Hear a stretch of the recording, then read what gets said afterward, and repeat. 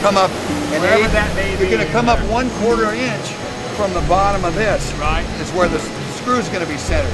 If it's too high, it breaks the glass. Right. Yeah. So this page is your Bible.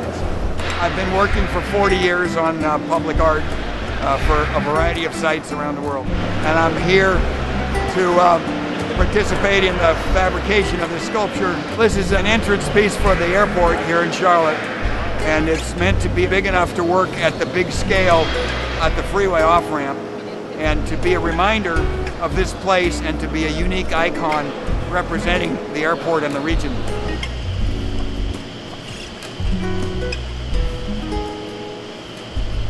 Uh, I work with the Public Art Commission. Uh, I help to select sites. I help to oversee the artist design process and the selection process. Make sure that we have talented artists who are doing creative work. Make sure that their work comes in on time, in budget for the citizens of our city. 1% of capital projects that we do goes into a pool to fund public art, and that's a pretty big commitment on the part of both the city and the county.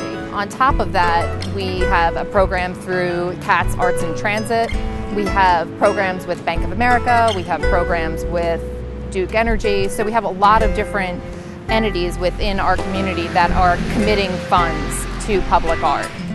The piece of public art that I appreciate the most is it's accessible to the public, it's free, it's not in a studio, it's not in a gallery. Anybody can come to that space, and if it touches on issues that are central to that community, then it becomes a landmark, a monument for the city.